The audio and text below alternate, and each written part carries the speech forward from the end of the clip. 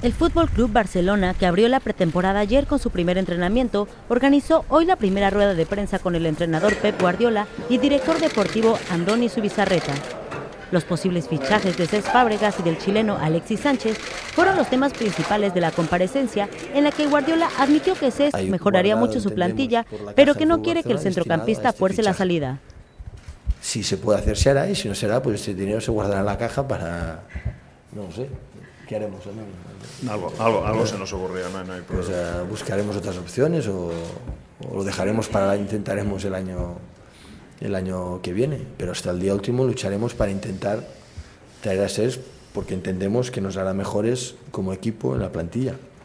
Sobre el chileno, Guardiola lo ha destacado como el mejor jugador para las necesidades del esquema del Barça. Muy joven, puede jugar en las tres posiciones de ataque, mucha intensidad defensiva, mucha, uh, mucho desborde, mucho uno contra uno, muy vertical.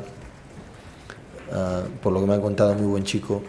Respecto al fichaje del extremo del Udinense, Andoni Subizarrieta aseguró que el final de la operación está cerca, aunque reconoció que también parecía cerca la semana anterior. Estamos, estamos en la parte final, creemos que hemos avanzado mucho, hemos trabajado eh, desde los dos lados con, con bueno, la suficiente paciencia, desde los tres, porque hemos de contar que la participación del jugador también ha sido muy importante y estamos en un, punto del proceso que entendemos que es, que es final.